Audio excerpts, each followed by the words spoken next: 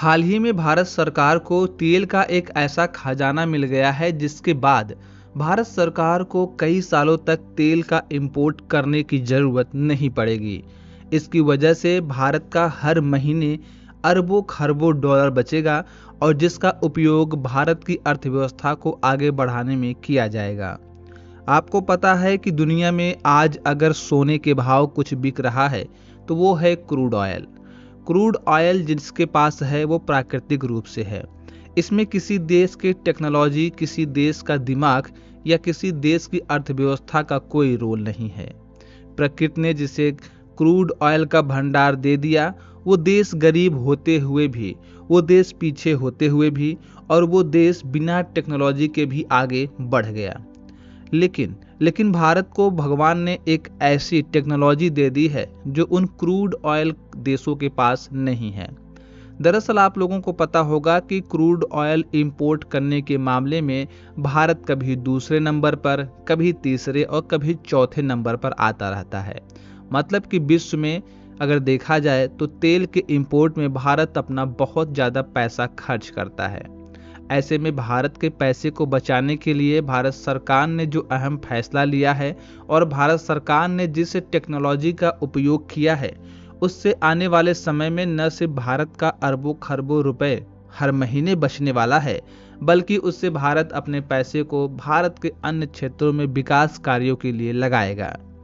बता दें कि भारत ने वेनेजुएला को एक ऐसा ऑफ़र दिया है, जिसकी वजह से वेनेजुएला इन ऑफ़र को कभी ठुकरा ही नहीं सकता। भारत सरकार के द्वारा दिए गए इस ऑफ़र को लेकर के वेनेजुएला काफ़ी उत्साहित है। तो आइए डिस्कस करते हैं और समझते हैं कि भारत सरकार ने वेनेजुएला को क्या ऑफ़र दिया है, जिससे वेनेजुएला उत्साहित है। और यह भी जानेंगे कि तमाम तेल कंपनियाँ मतलब कि जो देश तेल के भंडार को रखते हैं उन देशों में ऐसी कौन सी टेक्नोलॉजी नहीं है, जो भारत जैसे कुछ गिने चुने देशों के पास ही मौजूद है। तो इन सभी चीज़ों के बारे में डिस्कस करेंगे विस्तार से। लेकिन अगर अभी तक आपने हमारे चैनल को सब्सक्राइब नहीं किया है तो please do subscribe to our channel for latest news बता दें कि भारत सरकार ने वेनेजुएला को ऑफ़र दिया है कि वो उनके यहाँ की रिफाइनरी को हमेशा सर्विस देते रहेंगे। अब आप सोच रहे होंगे कि रिफाइनरी को सर्विस देने के बदौलत भारत को इतनी बड़ी चीज़ कैसे मिल रही है? तो आइए समझते हैं विस्तार से। दरअसल, जिन देशों के पास तेल है, उनको ये पता तो है कि हमारे यहाँ तेल हो सकता है। लेकिन उस तेल की खोज करना और उस तेल को खोद करके गड्ढे से मतलब कि ज़मीन के अंदर कई किलोमीटर से बाहर निकालना उन देशों के बस की बात नहीं है। जितने भी गल्फ कंट्री हैं वेनेजुएला है। ये सब देश कभी भी अपने टेक्नोलॉजी को बढ़ाने पर फोकस ही नहीं किए।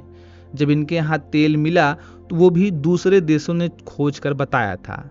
अमेरिका जैसे देशों ने, भारत, रसिया जैसे देशों ने गल्फ कंट्री को बताया कि आपके यहाँ पर तेल है। अब गल्फ कंट्री को ये तो पता चल गया कि हमारे यहाँ तेल है, लेकिन अब इस तेल को निकाला कैसे जाए? तो इसके टेक्नोलॉजी विकसित किया अमेरिका, रूस और भारत ने। अमेरिका रूस और भारत को तेल खोजने और तेल की खुदाई करने की जो टेक्नोलॉजी प्राप्त है, वो इन गल्फ देशों या वेनेजुएला को नहीं है। चलिए, लंबे समय के बाद कुछ गल्फ कंट्री ने अपने यहाँ पर तेल की खुदाई की टेक्नोलॉजी तो बना ली, लेकिन अभी भी तेल की खोज करना और उन क्रूड ऑयल को रिफाइन करने की जो टेक्नोलॉजी है, वो इन देशों के पास अभी तक नहीं आई है, क्योंकि इसमें बहुत लंबा समय लगता है। मैन पावर लगते हैं ह्यूमन रिसोर्स लगता है, तब जाकर के कोई टेक्नोलॉजी बनती है।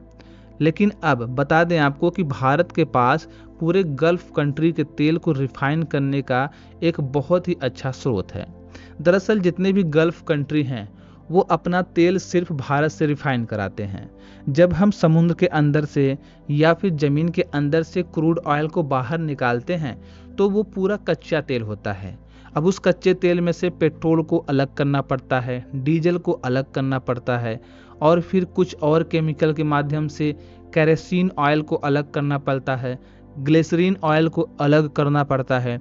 तो मतलब यह है क्रूड ऑयल जो होता है, वो बहुत सारे तेलों का मिक्सर होता है। जैसे आप पानी में दूध मिला दीजिए, पानी में तेल मिला दीजिए और पानी में नींबू का रस मिला दो और पानी में बहुत सारी चीज़ें मिला दो तो वो एक कच्चा तेल हो जाता है। तो अब उसमें से नींबू के पानी को अलग करना, दूध को अलग करना, ये सब टेक्नोलॉजी सबके पास नहीं है, लेकिन भारत के पास है। भारत के पास वैसे बड़े बड़े रिफाइन ऑयल रिफाइन कंपनियाँ हैं, जो विश्व के अलग अलग देशों को सहायता प्रदान करती हैं। अब देखिए, अब यहाँ पर समीकरण शुरू होता है भारत की। गल्फ देशों के पास सबसे नज़दीक में बसा हुआ देश भारत है। और भारत के पास ऑयल रिफाइन करने की टेक्नोलॉजी है। अब भारत को अगर गल्फ देश अपने ऑयल रिफाइनरी को यूज़ करने नहीं देंगे मतलब कि अगर गल्फ देश भारत की सहायता नहीं लेंगे तो अपने तेल को रिफाइन नहीं कर पाएँगे। ऐसे में होता क्या है कि सभी गल्फ देशों को भारत के ऊपर निर्भर रहना पड़ता है। अब गल्फ देश चाहें तो चाइना से ये सर्विस ले सकते हैं लेकिन चाइना बहुत दूर है और चाइना की सर्विस पर सब किसी को भरोसा नहीं होता। और गल्फ देश चाहे तो यूरोप का भी सेवा ले सकते हैं, लेकिन यूरोप और गल्फ देशों की हमेशा एक दूसरे में बनती नहीं है।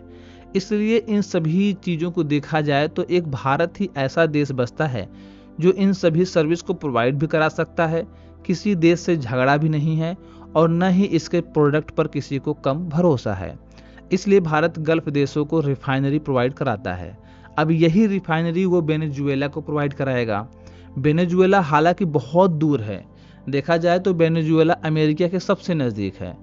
वेनेजुएला चाहे तो अमेरिका से अपना सारा काम करवा सकता है।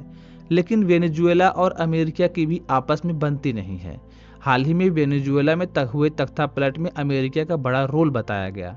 और वेनेजुएला की जब आर्थिक स्थिति तंग हो गई तो अमेरिका ने उसकी कोई सहायता नहीं की थी। इसीलिए वेनेजुएला कभी भी अमेरिका पर भरोसा नहीं कर पा रहा है।